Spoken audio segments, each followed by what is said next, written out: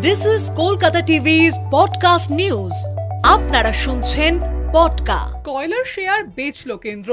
নমস্কার, আমি প্রীতি। আজ এ বিষয়ে বিস্তারিত জানাব আপনাদের।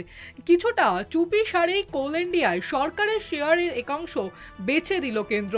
গত সপ্তাহে স্টক এক্সচেঞ্জ ফাইনালিংয়ে এমনই জানিয়েছে কোল ইন্ডিয়া লিমিটেড।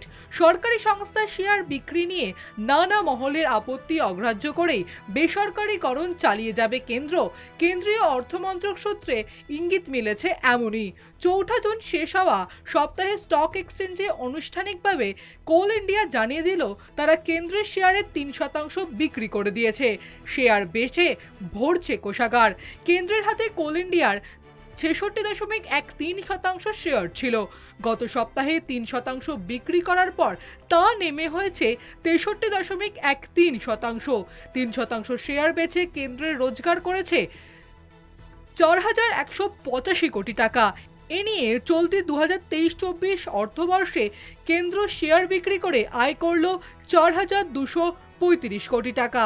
এই অর্থবর্ষে বেসরকারীকরণ করে কেন্দ্রের রোজগারের লক্ষ্যমাত্রা একান্ন হাজার কোটি টাকা। শেয়ার বাজারের তথ্যে জানা যাচ্ছে, পয়লা জুন শেয়ার বিক্রি করা হয়েছে প্রাতিষ্ঠানিক ক্রেতাদের। দোসরা জুন শেয়ার কিনতে পেরেছেন খুচরো লগ্নিকারীরা।